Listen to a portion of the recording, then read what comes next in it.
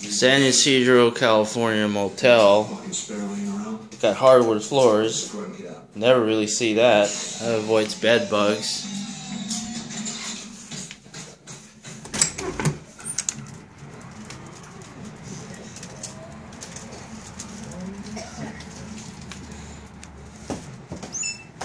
So all kinds of people standing outside. The problem with motels is can't get from point A to point B without some people looking at you, trying to know your business.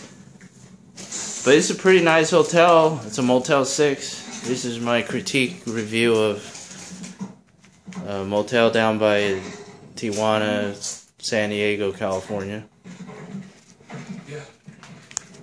Wake her up, uh, keep her out of bed. The bathroom, pretty clean.